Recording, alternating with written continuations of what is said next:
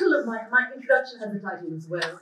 Um, the title of my introduction is A History of Impurity, which for some time um, also vied as a possible title for the book itself, because I'm really interested in the idea of pure impurity, especially in these days when the conversation is all about Swachhata and Swachh Bharat and all the politics of that. Um, so I'm very interested in impurity. So here's the here's the introduction, and I begin by talking about the image on the on the cover of the book, which you've all seen. Two women sip wine as they caress one another. All around them is beauty and light. They enjoy the revels with abandon, their jewels sparkling, and look straight at the artist who is putting up their image for posterity. People from around the world will see this image and wonder at its sensuality. An Instagram photo taken in one of the metropolises of the world in the 21st century, you think? No. Try an 18th century painting from rural Rajasthan. I first went to the village of Samod in 2014. We set off from Delhi at the crack of dawn to escape the heavy traffic that builds up after daybreak around the industrial hub of Manesar.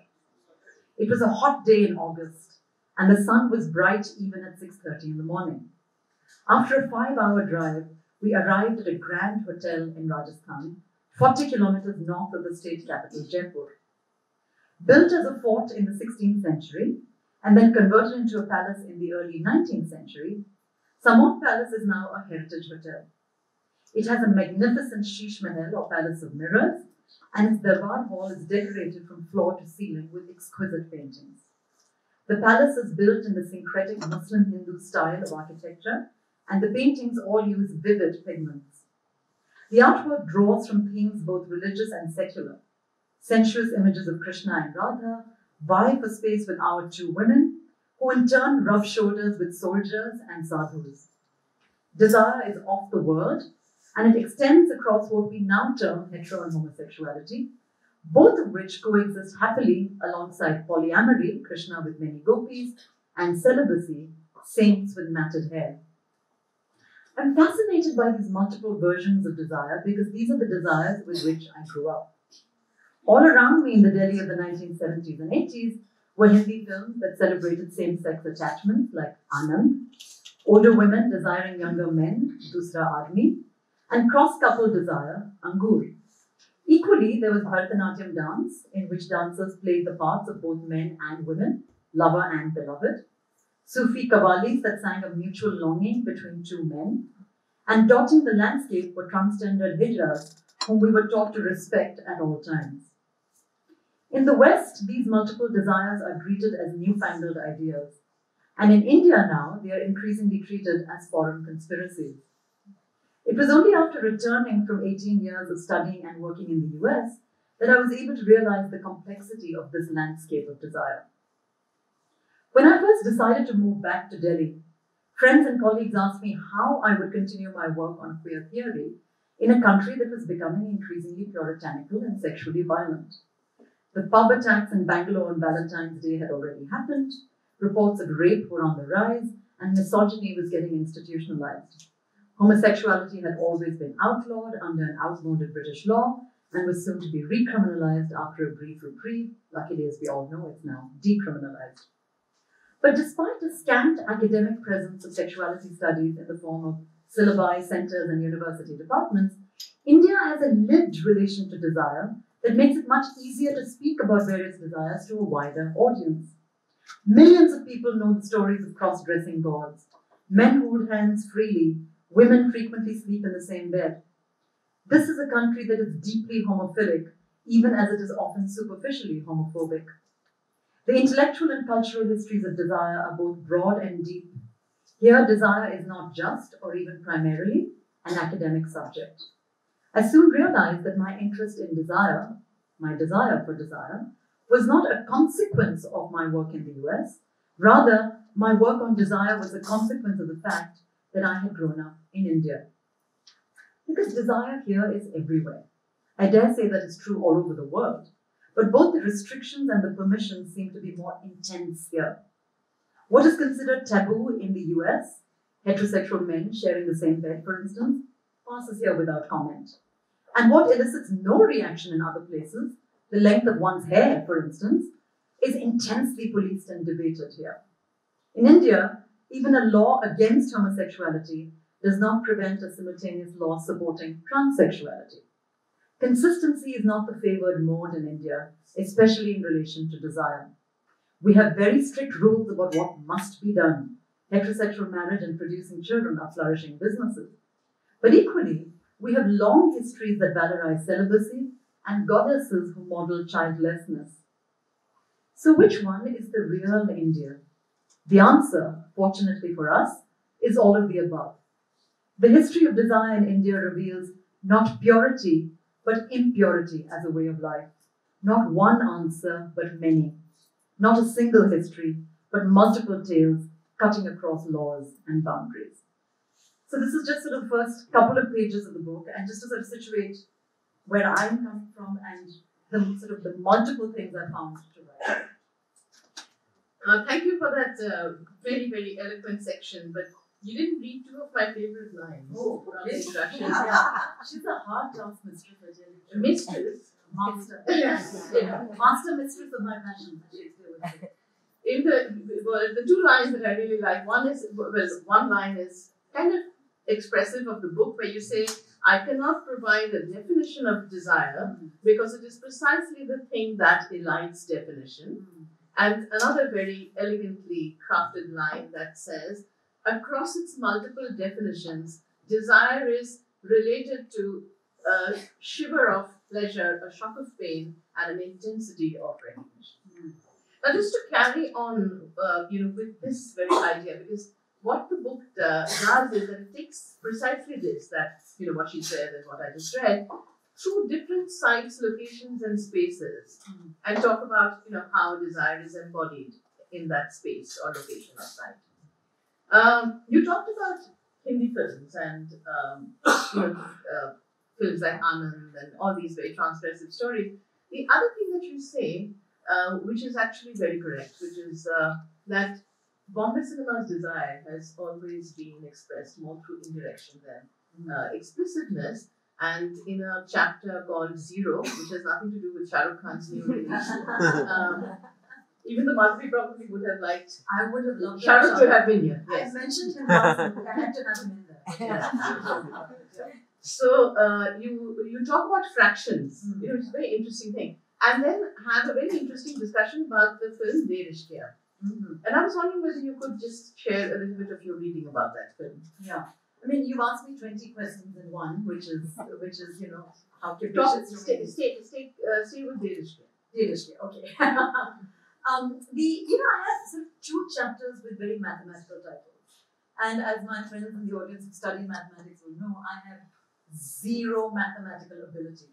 So it's sort of funny to me that I, I talk about zero and fractions um, because I'm not mathematically inclined. But what fascinates me about um, this language of numbers is that even without realizing it, we think about desire in relation to numbers or in terms of numbers. So we think most often, for instance, of the couple, right? The, the twosome.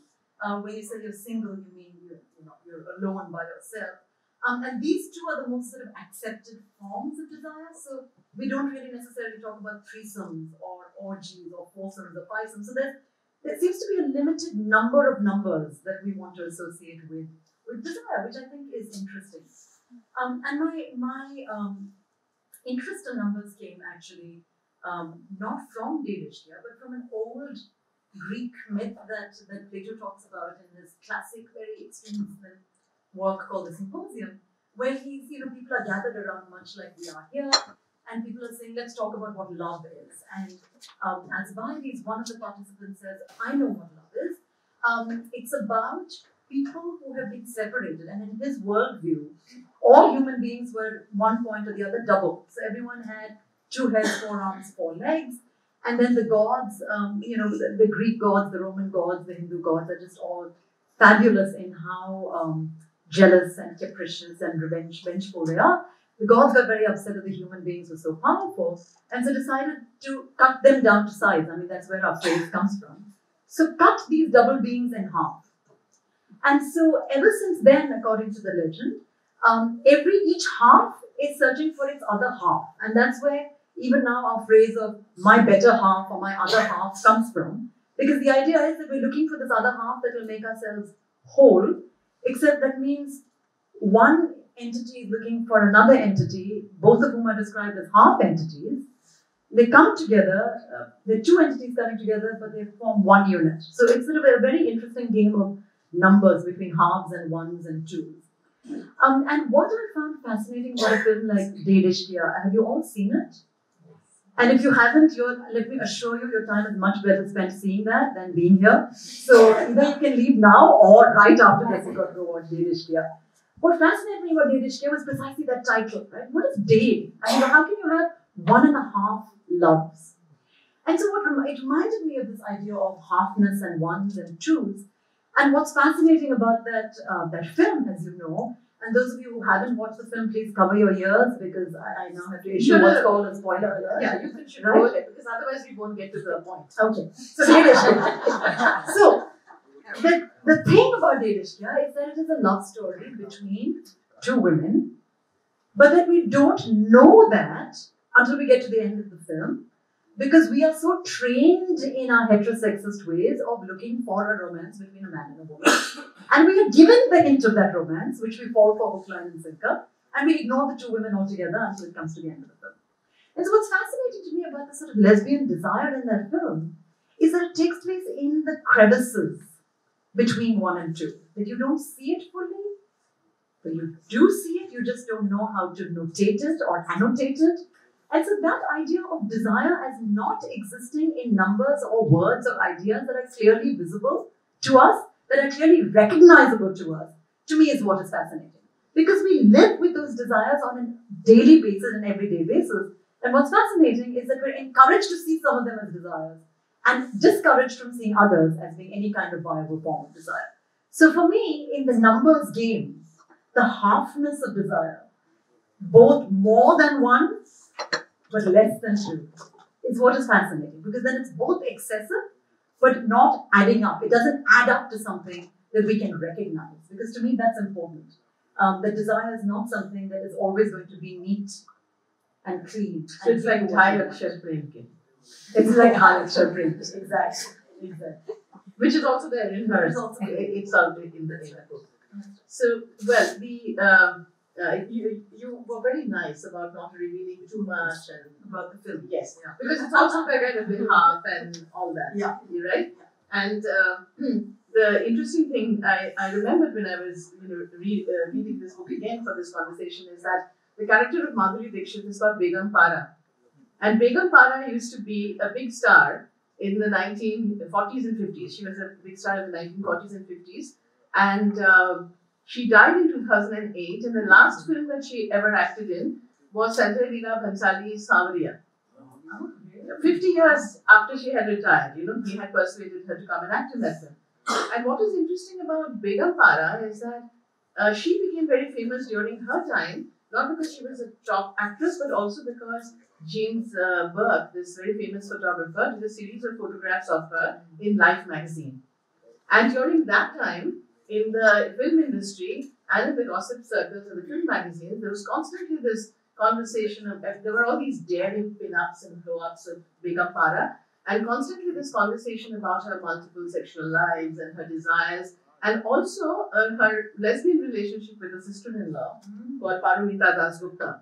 So Begum and. Paru and Paru. So Begum Para uh, kind of always had in the star image of hers the subterranean idea of the lesbian relationship. And it's interesting that uh, Madhuri Dixit should be named as Begum Para in, in, in uh. One of the, my most uh, favorite chapters in the book, because it's so, uh, I mean, this is not something that we talk about very much when we talk about desire, is the chapter on celibacy. Because I mean, one of the things that Madhavi argues is that you know celibacy not only allows women to escape this whole regime of uh, sexual reproduction, but also even among those of us who work in areas of sexuality, there is this whole thing about somebody who doesn't have a lover or doesn't have what we understand to be a sex life as either being a prude or conservative or somehow not being able to make it or having graduated from high school, something like that. you know?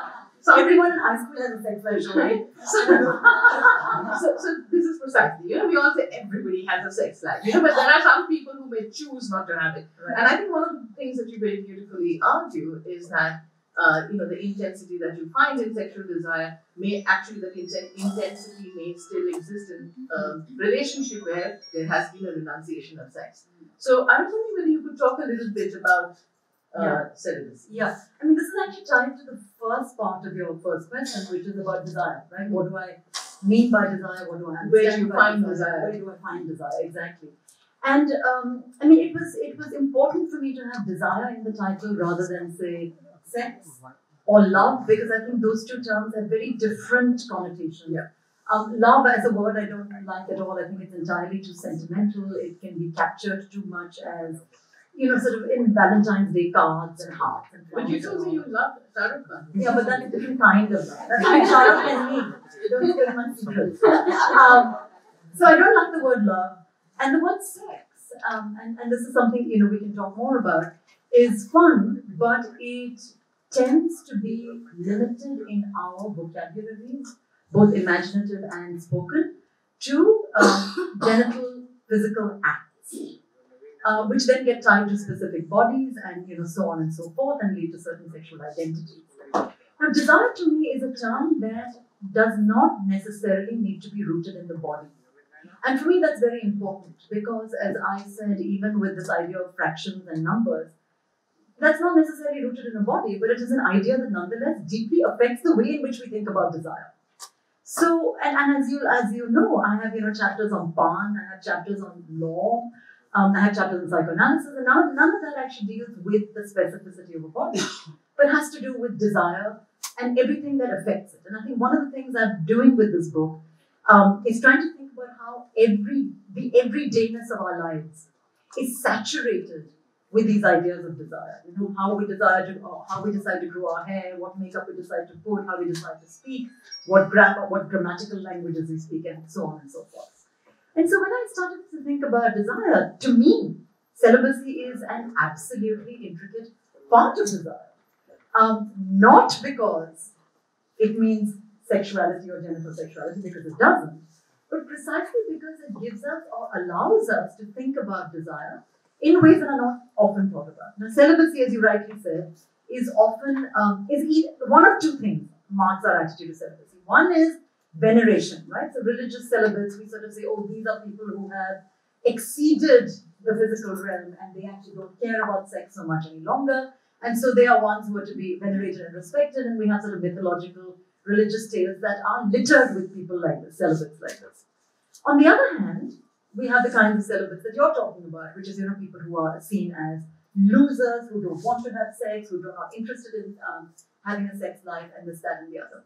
And for me, what's fascinating about celibacy, historically as well as in the present day, is that far from my, to my mind, far from being an escape from desire, it seems to me that celibacy is an escape from the constraints that is put upon us by sexuality. So celibacy suggests that desire is very clearly not rooted only in genital sexuality. That we might have a deep desire to do things with our libidos and with our cathexes and with our wants and needs and longings that don't have anything to do with the body or with sex, in that sense of the word.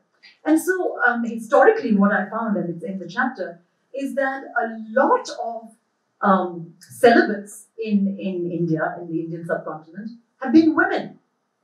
And for a lot of them, this is the only route through which to escape heterosexual marriage and reproduction, right? So the minute you say, um, I'm not interested in men, and it has to be rooted through God, right? So the minute you say, I'm interested in God rather than men, people can't really say to you, oh, forget that, right? Because you sort of, you are holding them to a, to a higher purpose or a higher ground. Um, and so, and the Sufis are excellent at this, right? Because they are constantly blurring that boundary between a desire for God and a desire for a beloved.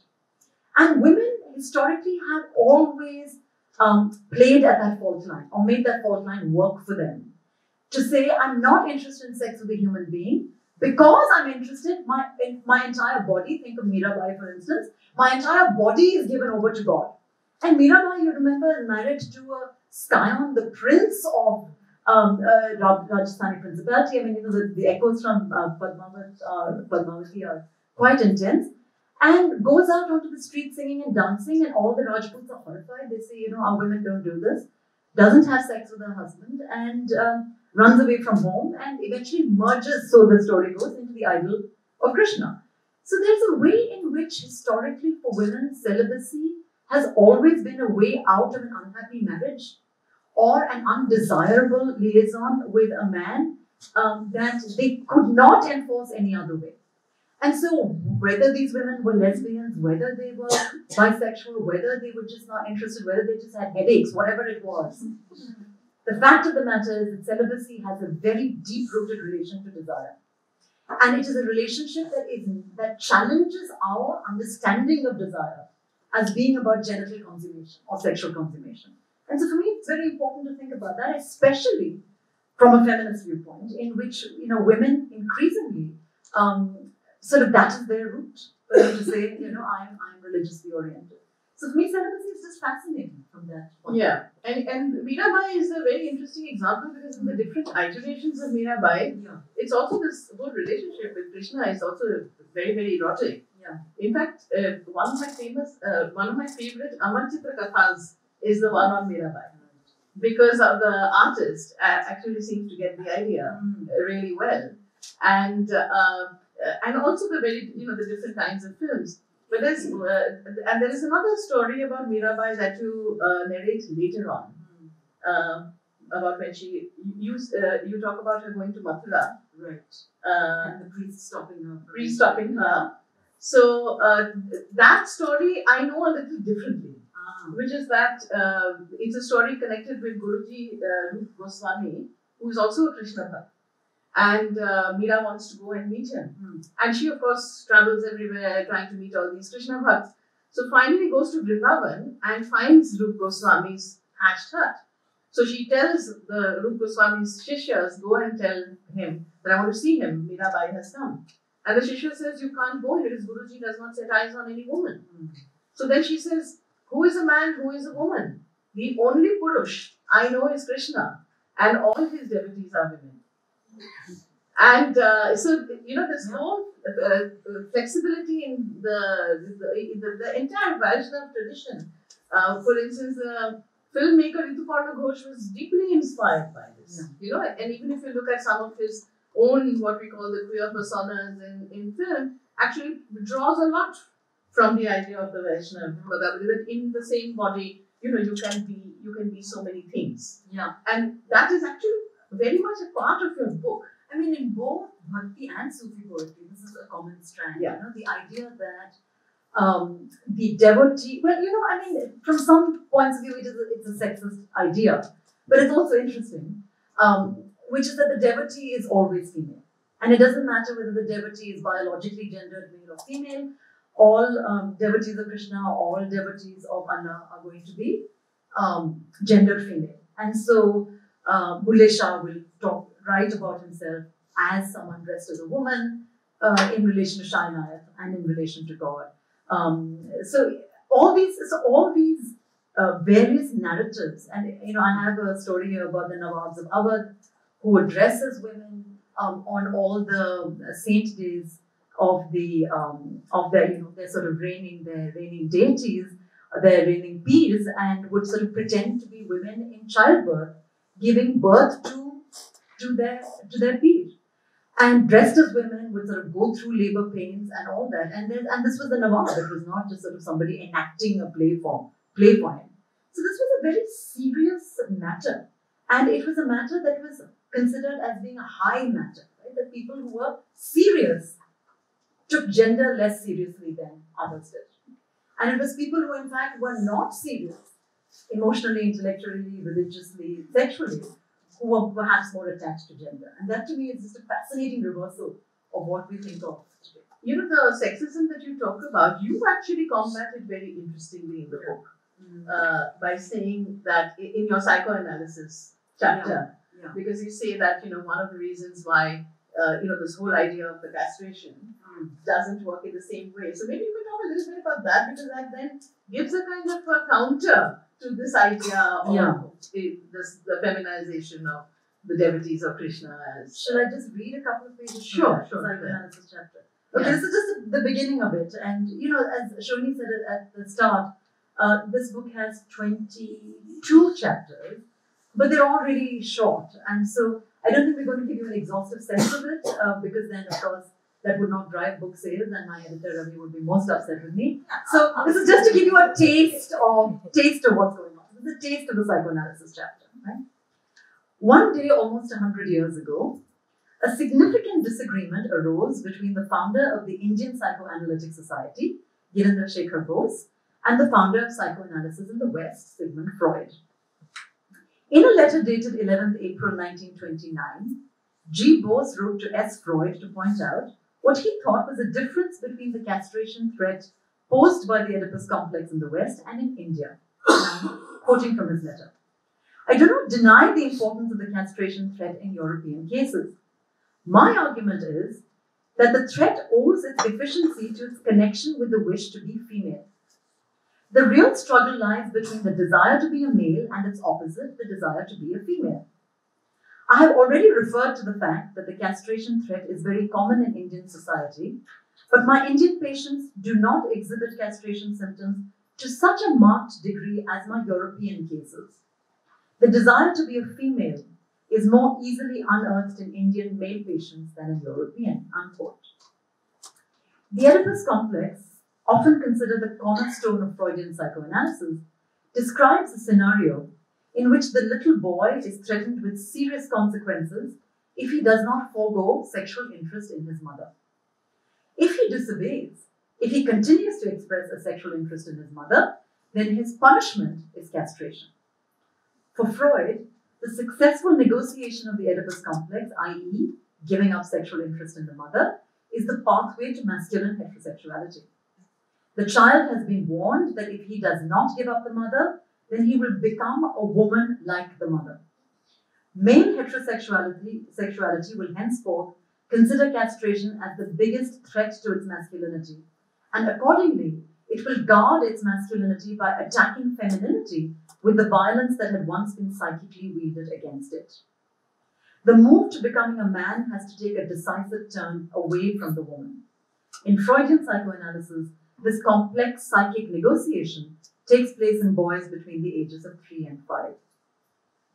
According to Bose, Indian men do not fear becoming women, so the threat of the Oedipus complex is not as strong. They do not display the same fear of castration as their Western counterparts.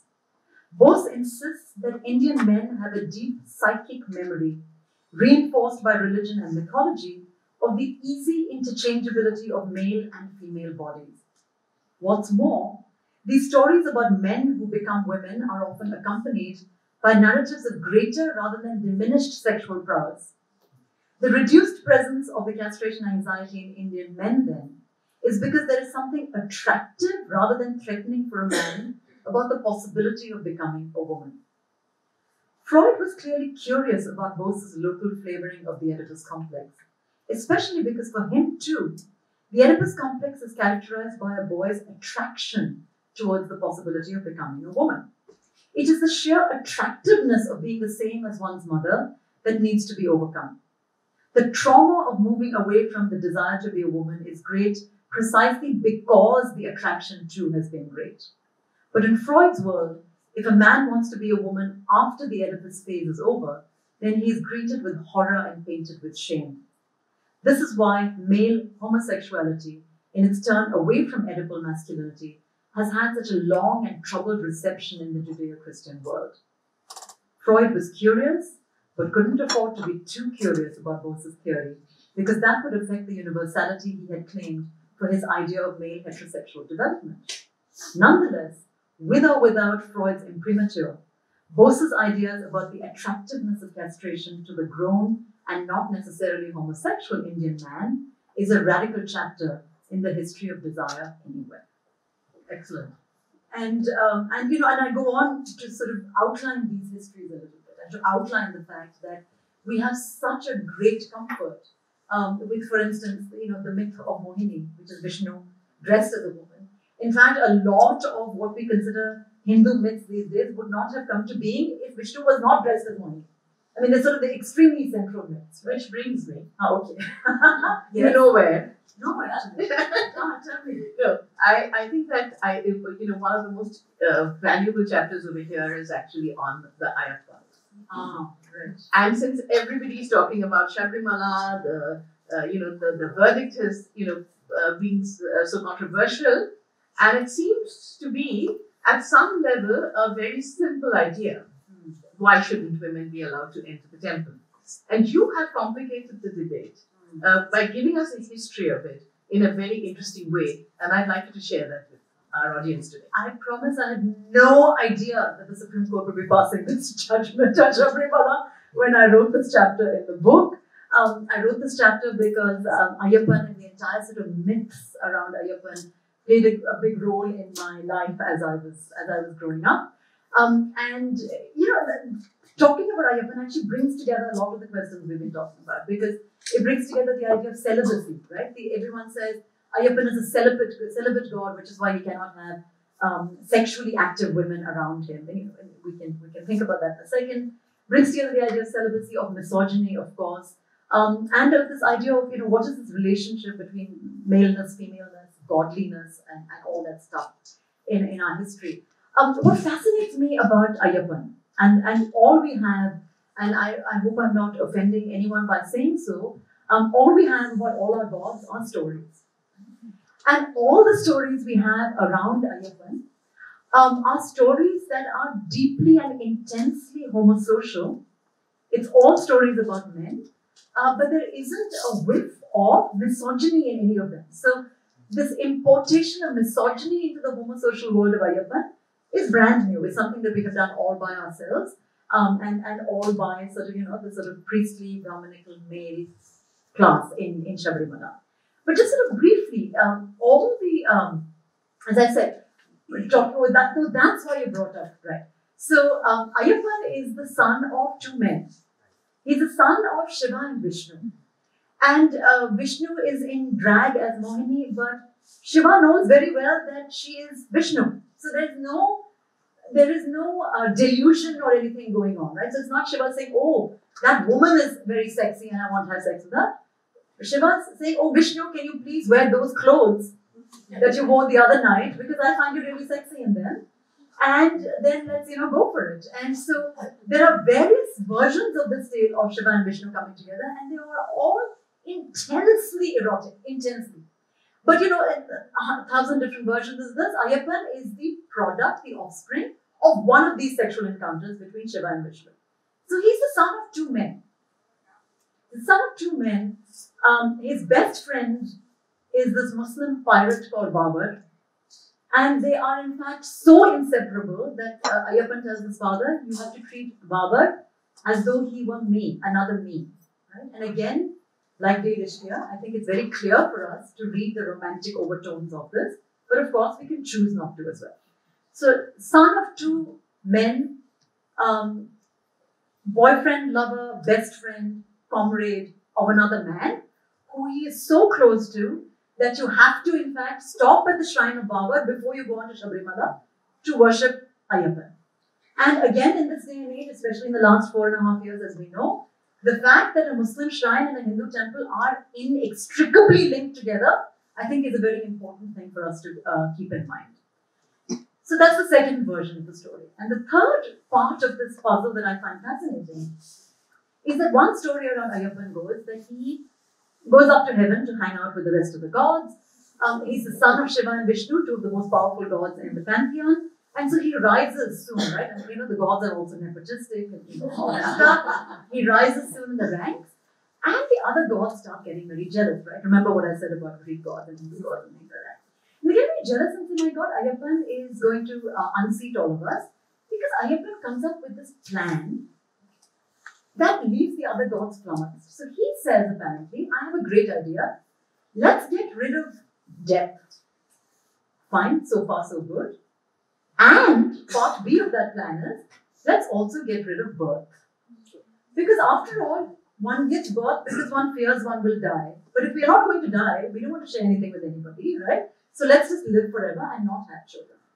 And the other gods say, oh my god, half the stuff that comes our way is for people who want children. or people who don't want to die. So he's taking away all our resources and revenues, right? It's like- like an income tax rate or whatever. And so they send Narada to Ayyappan to steer him off course. So Narada goes to Ayyappan and says, I have one question for you. You know, it's really been bothering me. So Ayyappan says, What is it? Narada says, I just want to know how are you related to the wives of your father and your mother? So Ayyappan starts thinking about this.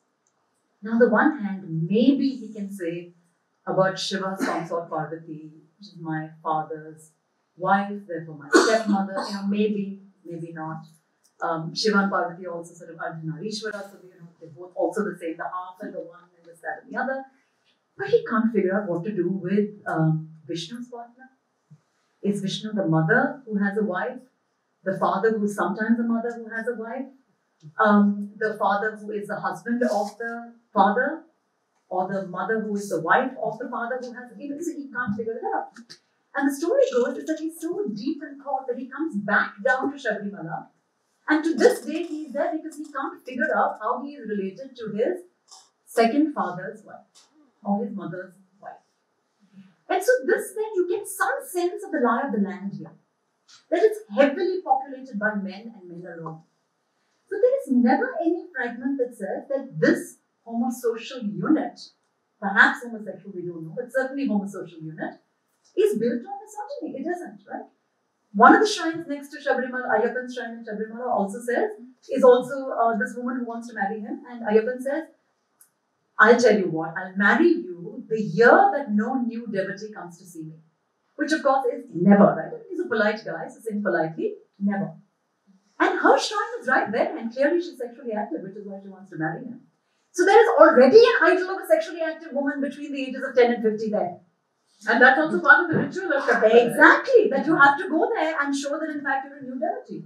Sorry, showing his name has been moved by that revelation. Yeah. But- the gods are moving things around. exactly. So there, so there, I, so I have really no idea where this is coming from. And there was a bizarre and absurd, I think you read, you must have read it, I hope you didn't, um, editorial piece by General, National General Secretary of the BJP, saying not allowing women into the into Shabrimala is a harmless tradition. That's why his words. Begging the question, of course, whose tradition, when, why, where, and harmless, harmless to whom? You know, so, so this is this kind of routinizing of misogyny. When there is no whiff of it in the people in whose name you are instituting it, is simply absurd. Um, so I'm glad the Supreme Court is, you know, is persisting. And let's so I actually don't know, have any women between the ages of 10 and 50 gone into the temple yet?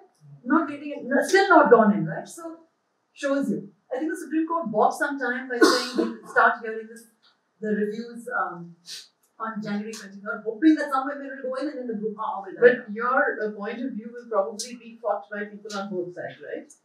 Yes, exactly. exactly. No one wants Ayyappan to be gay, and and uh, and uh, no one wants uh, no one wants to think. So those people also don't want to hear my point. So one of the interesting things about the book, and at some point you say this as well, uh, and I would like you to talk a little uh, bit about that, is how you have talked about desire as being in excess of identities. And I say this because we live in times where identities are getting more and more rigid. And, uh, and desires are getting attached to identities. And whereas here you say that the desires are so multiple, so diverse, so unruly, hmm. so uncontrollable that they can actually attach themselves to anything, hmm. which then completely invites us to rethink our idea of the identity. Hmm. So I was wondering whether you could talk a little bit about that. I mean, I fear that that might be another losing battle, but you know, I'm used to fighting losing battles, so I'm going to fight it anyway. Um, again, we talked about this a little bit earlier about how, for me, desire, but not just me, for all of us, um, desire is not necessarily located only or even primarily in a body. Right? That there are ideas that influence our desire that um, that vary from across regions, languages, um, all kinds of notions affecting the way we are in the world. And if we just go back again to sort of mythologies and traditions, um, you use the word embodied, and I'll talk about that in the introduction. Actually, embodiment is the furthest thing from desire, historically and mythologically, in the Indic subcontinent that you can think of. So, if you think of um, Vedic traditions, for instance, um, Kama, the god of desire, is bodiless. He's burnt to cinders by Shiva for daring to disturb him. And then Parvati says, please, please, please bring him back to life. And Shiva says, okay, I'll bring him back to life, but I won't give him a body. So the god of desire in Vedic mythology is disembodied. There is no body to come. And in Sufi tradition, the entire sense of I am desiring this body in front of me, which is also existing on a realm that I cannot see, suggests that this body is not the be all and end all of desire. So to think desire is embodied actually is the weirdness. But it's got so much political caching, it's got so much social backing because it provides us with an easy answer. That if you look like this, then your desire is this, then your sexual orientation is this, and then you have to stay within that little basket. But you know, we all, as we all know again, and this is a very routine, prosaic, um, commonsensical uh, piece of knowledge, is that our desires vary. They fluctuate between not just day to day, but from morning to evening, or from 9 a.m. to 12 p.m. So, what is it that encourages us to narrate our desire as being fixed and fixable? As being boiled down to a particular gendered identity, to a particular gendered body that will look a particular way and that will therefore have a certain sexual orientation. Unfortunately, though, there is so much, there are so much resources being thrown at that particular version of sexual identity that I think we stand a very little chance of actually going back and allowing ourselves to be surprised. Because I think actually the one word I would use in relation to desire is the word surprise. If we're not surprised by our desires, then you know half the fun is lost. But it seems to me we are doing everything we possibly can to insulate ourselves from being surprised. We want to know in advance the answer to all these questions. What is my gender? What is my sexuality? What is my orientation? To whom am I attracted? And then if we change our minds or if we see someone else changing our mind, we come down on them and on ourselves very, very harshly, very sharply. So of course we have to ask ourselves, why are we so invested in having these particular identities? And as I said, a very clear and easy answer to that is because there is legal, economic, social, cultural backing for that kind of simplicity and neatness. Desire, as I said, is messy and impure. So to think about it in terms of neatness is to militate against the very subject that we're thinking about. And so identities increasingly, proliferatingly, are becoming the name of the day. People speaking as a X or as a Y um, come to dominate the scene, and people who are in the interstices, in the Dade part of it or the Thai part of it, are being lost literally in the cracks. But that's where our desire is. And that's what I would like to encourage all of us to really take more seriously. I'm a little more optimistic than you. Oh, good. But that's, that's, our, yeah, that's, our, that's our dynamic. so between the two of us, we've got all bases covered. so, uh, yes, I think that is the wonderfulness of this book, is that you actually show that we have a long tradition of uh, not having to actually invest in identities, but that you know there is a whole history by which we can look at embodiment, desire, uh, and all that in a much more complex way. So, while the subtitle of your book is A History of Desire in India, by the time we reach the book, as you yourself say, that both these categories become endlessly unstable. Mm-hmm. And even India, when you talk about how the, the contours of India keep changing, because when we talk about India, we actually think about the post 1947 uh, India, but there was an India before that and uh, and the stories that are collected in this book uh, in this volume are actually about all those all those Indias. Yeah. Um, uh, I, I thought I could just ask you to speak a little bit about your first chapter, and then we will throw it open, uh, you know, for a conversation. Maybe talk a little bit about um, the dargahs, you know, because we, we are in a city of dargahs, and dargahs are also sites of desires because usually we go there with some desire or the other. But there is also a story of desire that is inextricable from the Dargah, yeah. and which is about the Peer and the Murid. And that also is relevant for us at a time when the whole idea of the teacher-student relationship uh, is becoming deeply contested. So perhaps that's also something that you know we need to be reminded of. Mm-hmm. So if you can talk a little bit about that, and then we can throw it open to the audience. I'll just say before I answer this question that all comments and queries addressed to Shohini Ghosh, please, after this. um, my first chapter actually was going to be on Delhi. And, and I wrote wrote the entire chapter. I loved it. I still love it, but I had to throw it away because it just wasn't fitting in. But in many ways, the Dargahs chapter is my Delhi chapter because, as you say, um, Delhi is dotted with all kinds of Dargahs. Um, but even more than I, I speak uh, specifically about the Jamali Kamali tomb in, in this chapter, but even more than a specific tomb, I think it's the idea of the Dargah that I find fascinating. Because again, to go back to the Ayyappan story, um, it's about two men being buried side by side, which fulfills, of course, every romantic trope that we know about, you know, Janam Janam Ka Saath, this idea of that you'll be together in life and death, uh, that you're going to be sort of uh, sent into the into the hereafter together, not separated. Um, and what's fascinating to me is that in the dargahs, these the two men buried together are always um, teacher and disciple, always Peer and Murid.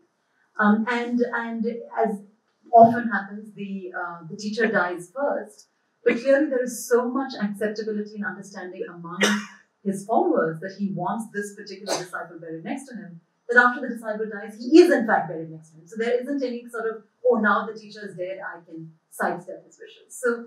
Um, so it, it's very much, and the Jamali Kamali tomb is known as the gay Taj Mahal, uh, because you know it's two men buried together, but along the same lines as the Taj Mahal has is commemorating this kind of heterosexual love. What's fascinating about these dargahs is that certainly predates this kind of this kind of ferment in which we are living, the, the sort of Me Too moment, the Me Too movement, uh, specifically as it attaches to universities, specifically as it attaches to spaces of learning. Um, and I have, as you know, an entire chapter on education in this book as well, in which I make the same point, um, which is that the idea of education in various and varied traditions around the world is absolutely and utterly inseparable from desire.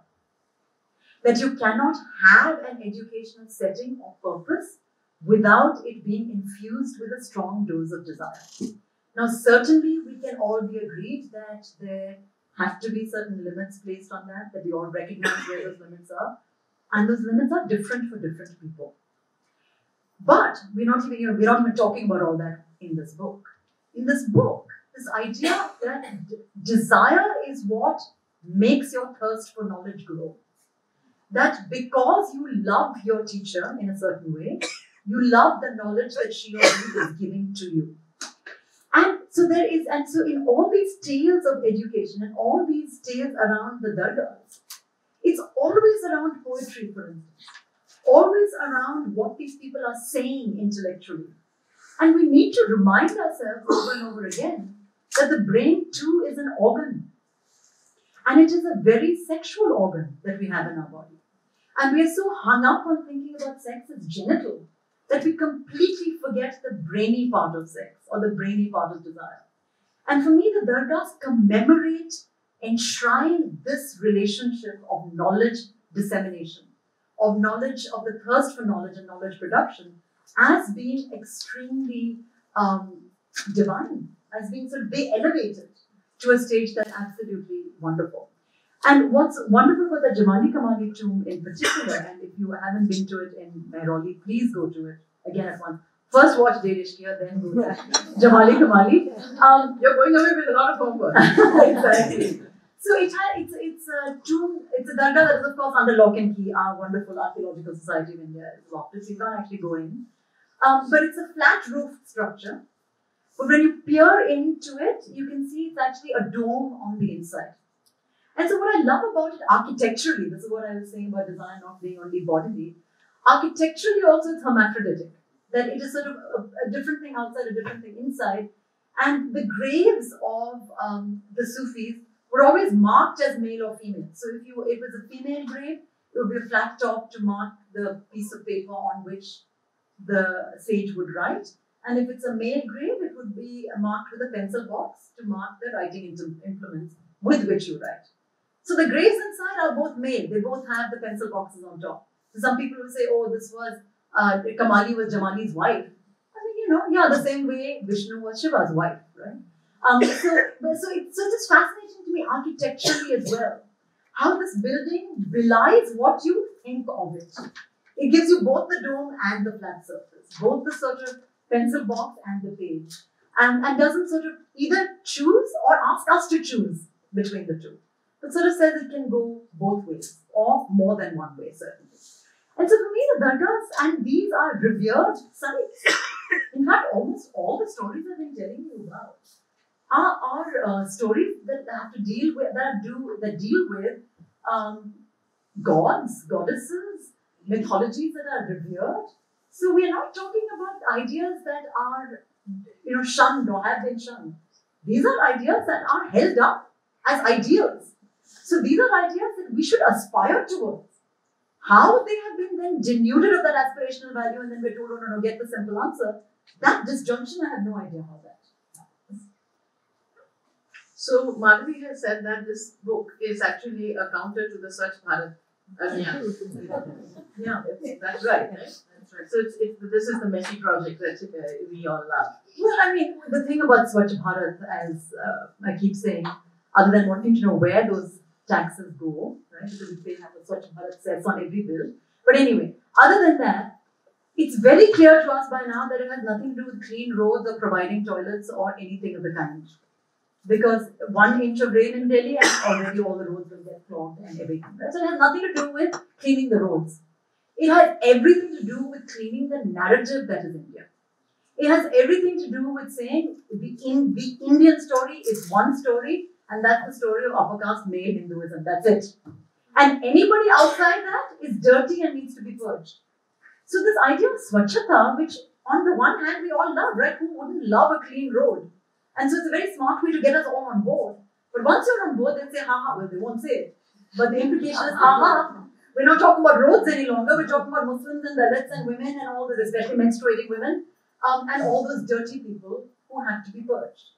And so this idea of swachhata, uh, and let me tell you, speaking as someone who is absolutely anal about cleanliness, is a very dangerous idea, intellectually and politically and ethically. It's always been the trope of fascist, uh, Absolutely. uh, authoritarian uh, regimes. Exactly. Neatness. So please give up your attachment to neatness, embrace these shredded pages, and that shows so looks That's going to be tough. but with that, I'm going to throw this open uh, for comments, questions, uh, stories. Your book is very interesting and there are many different uh, topics that sort of uh, approaches desire in very different ways.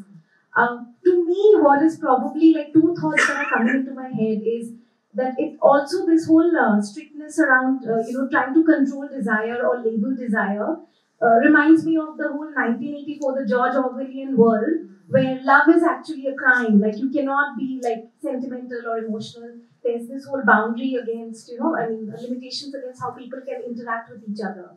The other thing, like what I wonder reading your book was also that when we look at the West, you are mostly referring to the biblical West, the uh, Judeo-biblical West. So I was just wondering that, you know, the influences that we are seeing today, what what could be the causes? What could be the reason? Is it only the influence of the British Raj, or is there something more to it? Like why have we come where we have come? Yeah. Like, Yeah. I mean, I think the answer is never simple, right? I keep sort of joking. I wish it were as easy as saying the British are to blame for everything.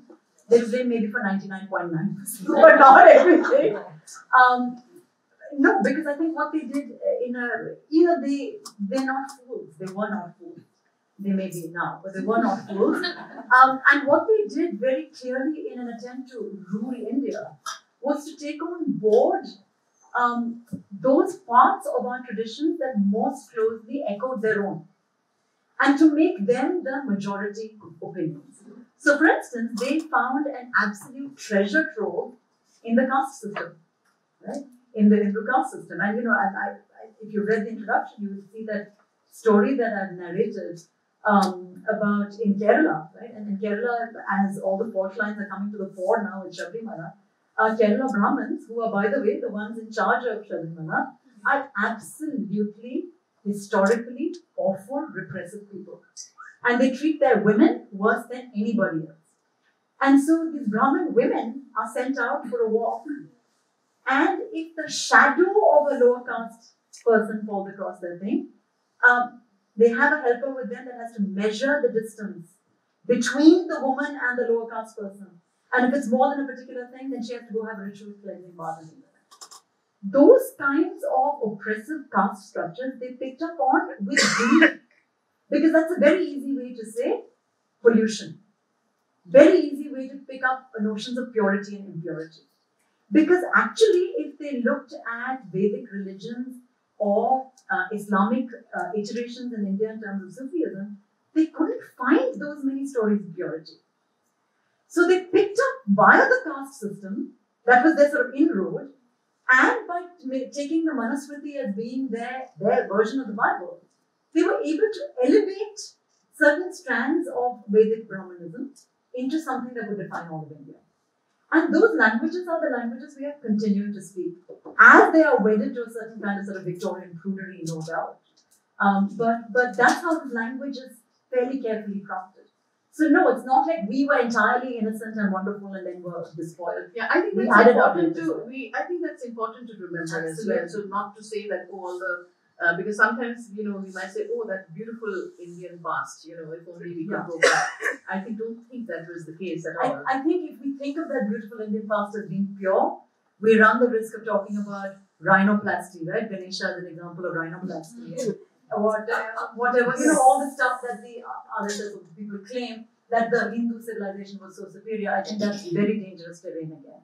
Uh, we have to think about our own um, um, our own role that we played in coming where we are today. what are the repercussions of taking impurity really seriously, especially in a caste society? Um, uh, given, uh, especially uh, how uh, the revelation in impurity is precisely what has condemned various communities uh, uh, and historically led to their marginalization, right? So various communities are thought to be impure, are, are precisely marked by excess, transgression, all of those words that we uh, that we think are great with desire. But as soon as it's embodied, and precisely this, it's embodied in a body, um, uh, allow for various kinds of violation, right? So how do we uh, check on the idea of impurity, uh, especially as it is historically in this very country given to uh, impunity with regards to violation? Um, this becomes especially true because as we now realize that even in the Sabrimala case, uh, there is the Mala Araya community, which is the Adivasis of the region, who have said that these are, this was actually a temple that is now being Vedic, uh, taken over by Vedic priests, etc., and it happened at a certain particular time.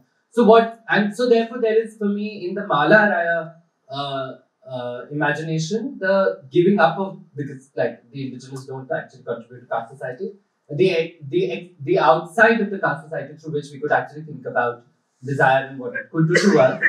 Uh, but also because one can simply think about as the the half, and we, I'm thinking about the con- the constant half widows of Kashmir, which isn't a great image to bring up, which is also a half more than one, less than one.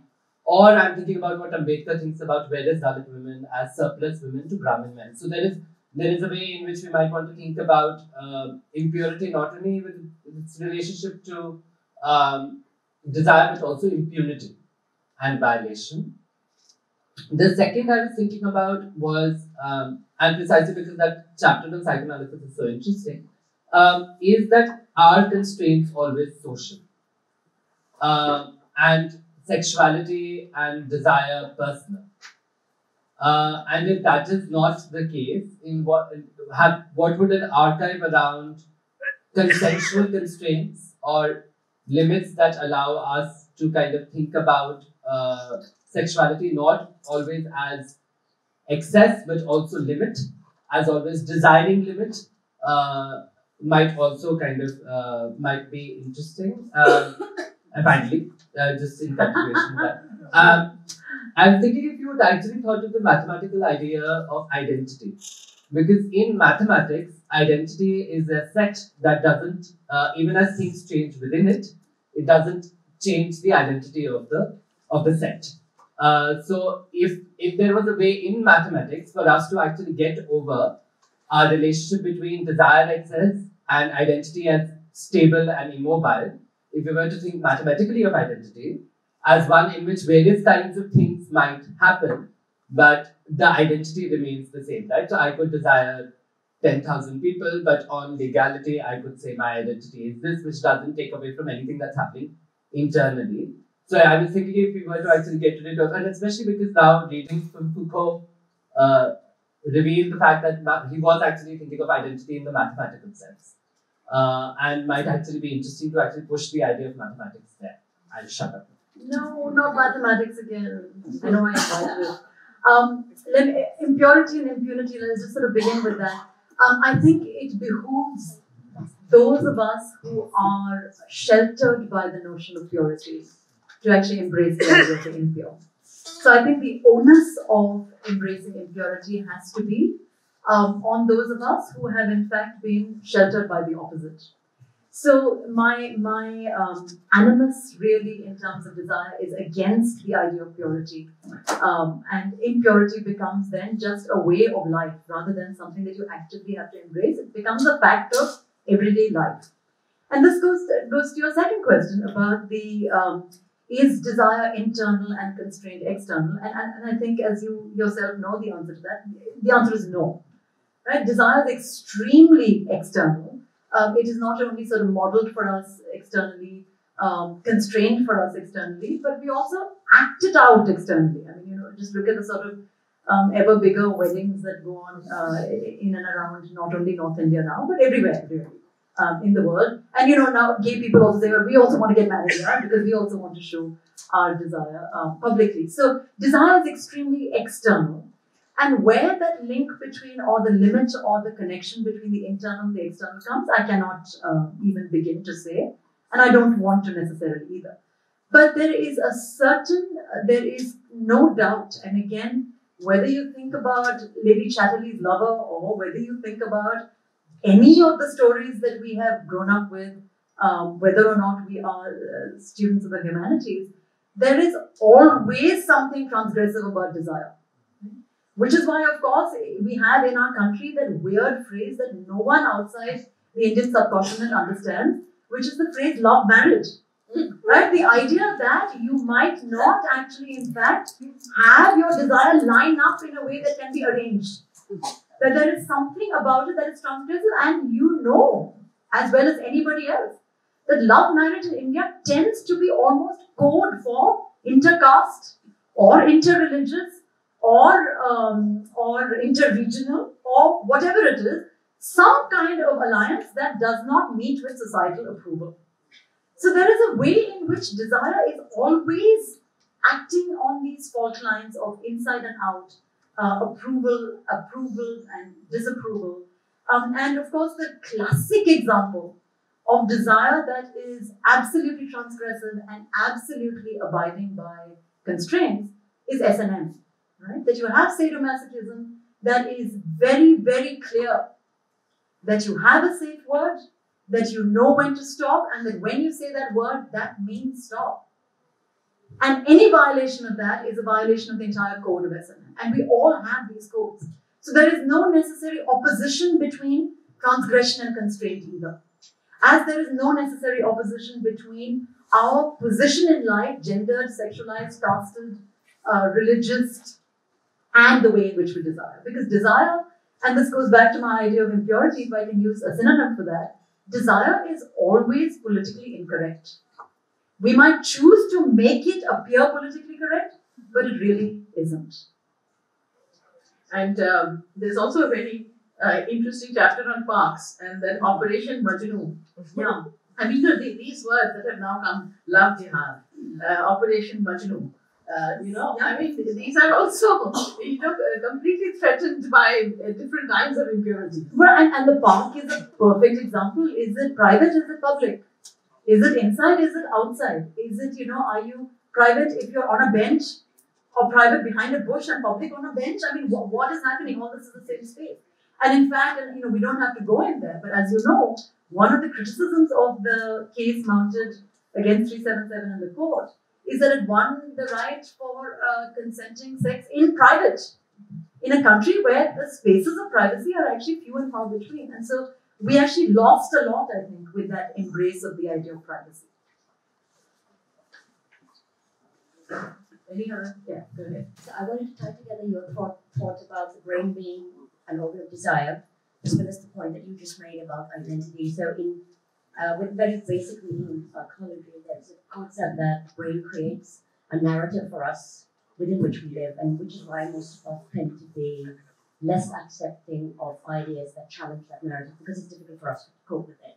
So, in many ways, if we have an idea that if our brain didn't have that identity for us, we would, with each new idea, have to shift our mm-hmm. identity or our story or our story or narrative of ourselves.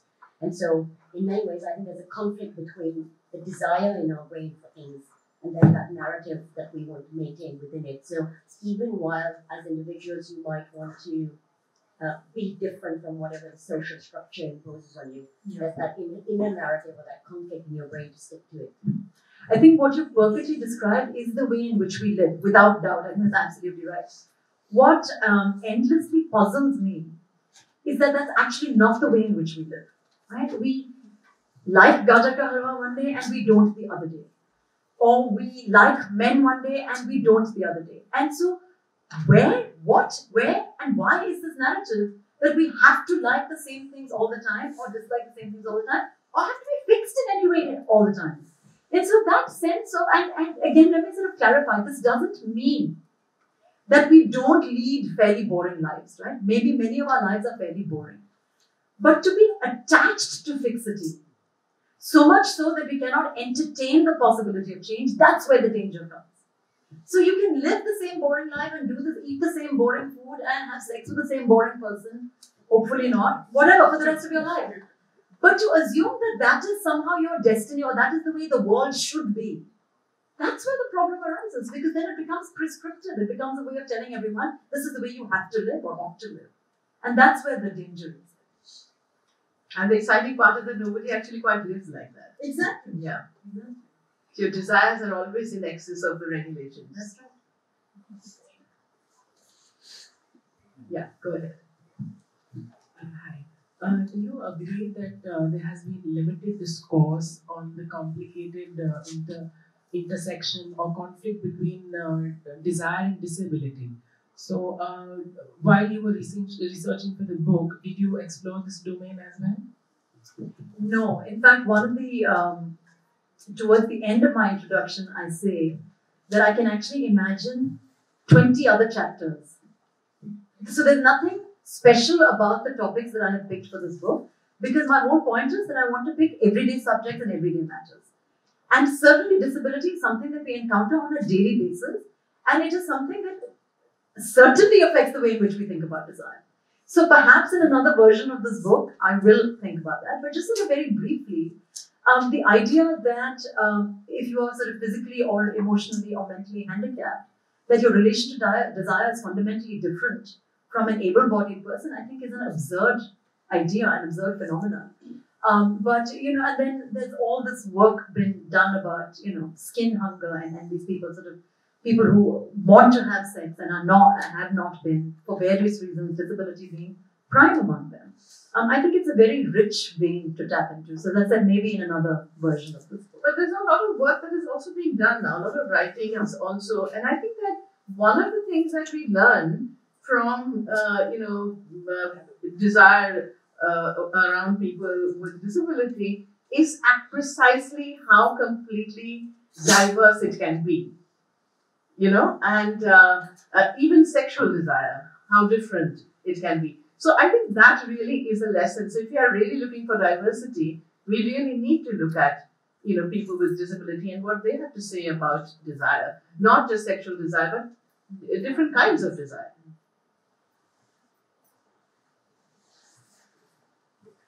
If there are no hands, I'm going to ask uh, uh, Madhavi to uh, conclude our session this evening with a reading from the book.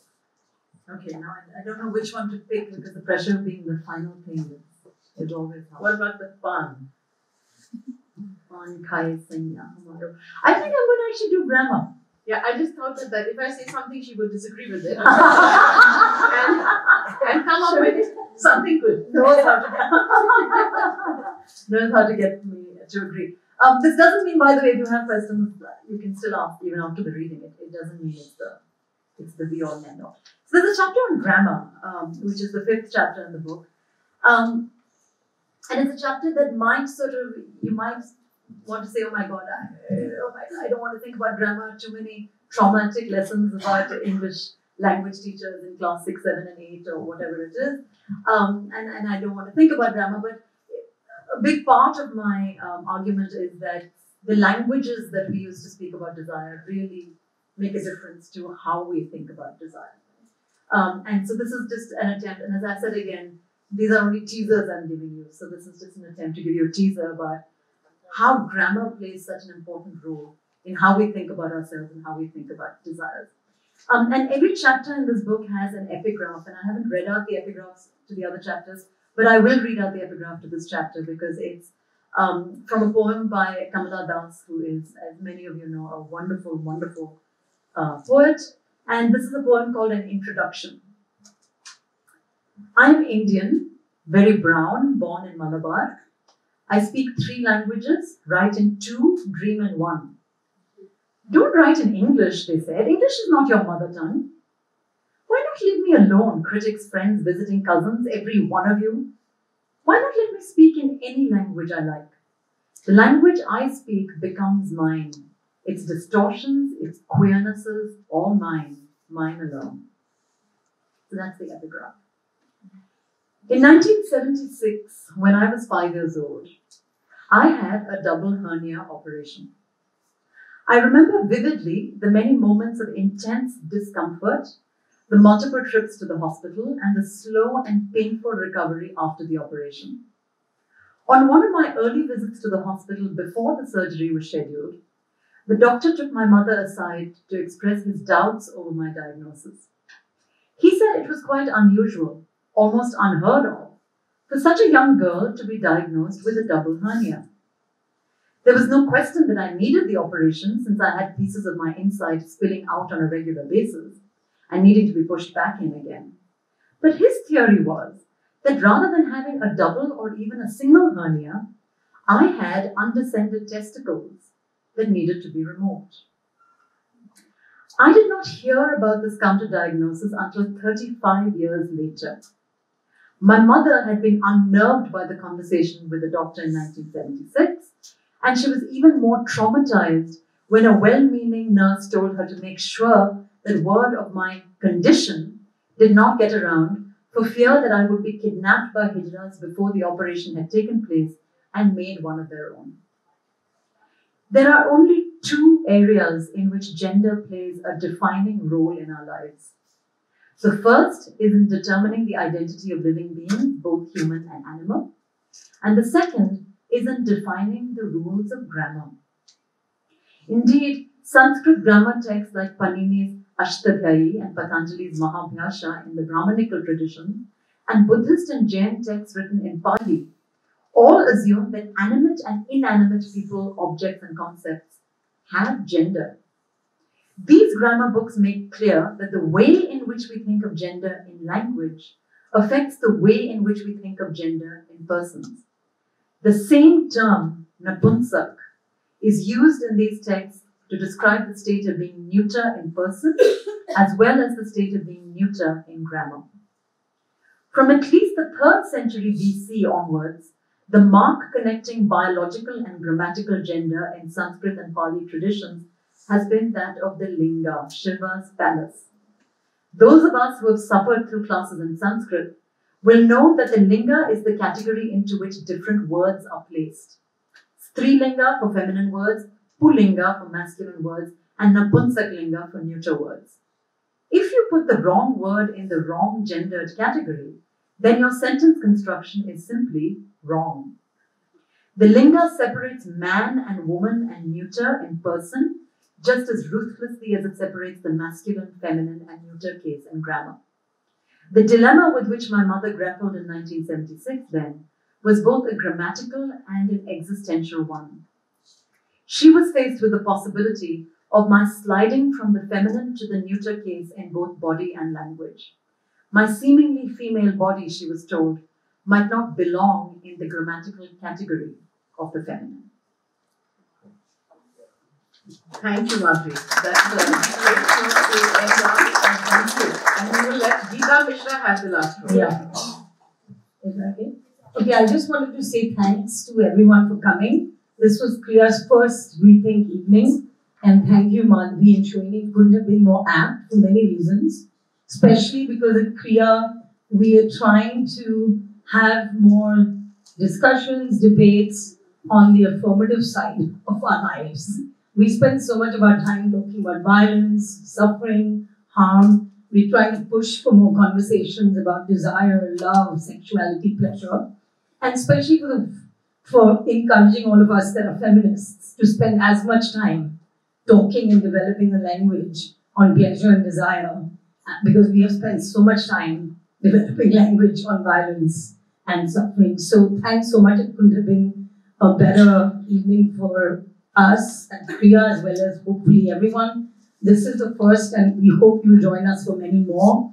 Madhavi's book is on sale outside and everything that she's read should just encourage us to buy not one but many copies and Madhavi will be signing her book. Thanks so much everyone. Thank you.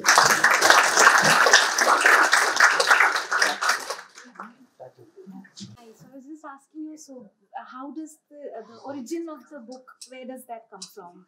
How do you think of it?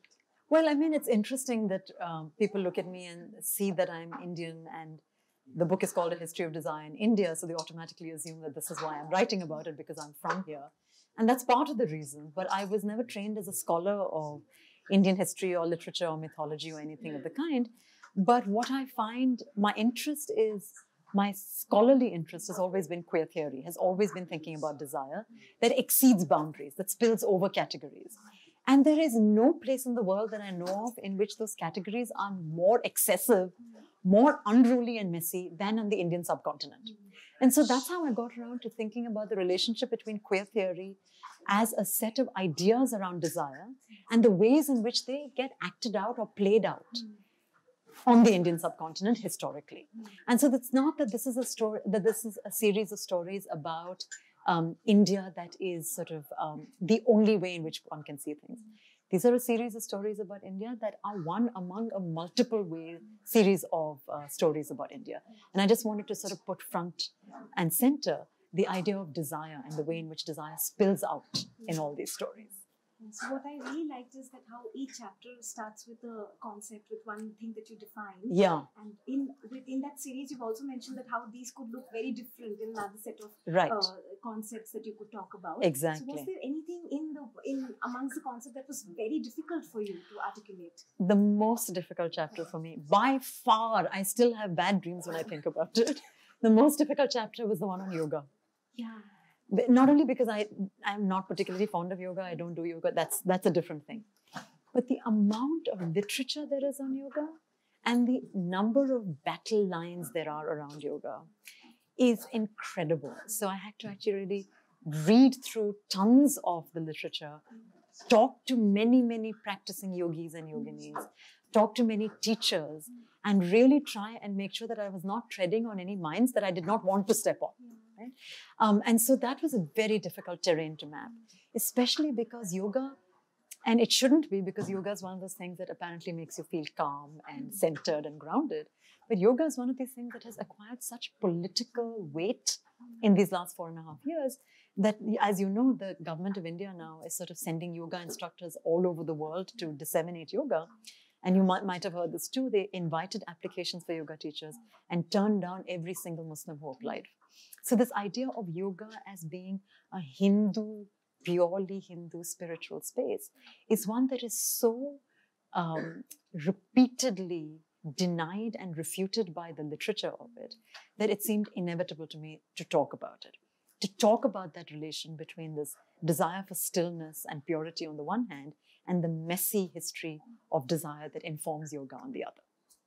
it, it was a difficult chapter to read. Yeah, I can imagine. a lot of information. Yeah. And what in those series would you say the, was the most fun part, which you could relate a lot? The most fun chapter. Yeah. Um, I loved them all. I mean, even the yoga chapter I loved, though it was so difficult. I really loved them all. I think maybe my favorite one um, might have been the one on Dargahs, because as I said to me, that is the Delhi chapter for me. And I'm sort of very deeply invested in Delhi because to me, this is a space of such syncretism. It's a space of sort of multiple religions, multiple desires, multiple sexualities coming together, and historically. But I also love the chapter on sexology, which is my last chapter, um, because for me, I made, that was where I made most clear the conversation that's always going on in my mind and in the book between a certain kind of um, Western understanding of queer theory on the one hand and certain um, realities around desire on the other hand. And putting those two in conversation with each other was just exhilarating for me. And that happened throughout the book, but I think I was able to do it most openly by talking about Foucault and history of sexuality in that last chapter. That's very interesting. And as a last concluding question, your remarks on the rethink evenings and how was the interaction today? It was absolutely wonderful. I mean, starting with the title itself, I think calling something Rethink Evenings is wonderful. It again puts front and center your politics, your investment in saying, uh, we really want to hear fresh ideas, new ideas, not the same old regurgitation of what we already know, uh, but really trying to put a different slant on it. And to me, that is that embodies the queerness of desire, because queerness is everything that is not straight and not narrow, and that's what I'm invested in. Thank you so much. Good luck to you. Thanks. Thank you.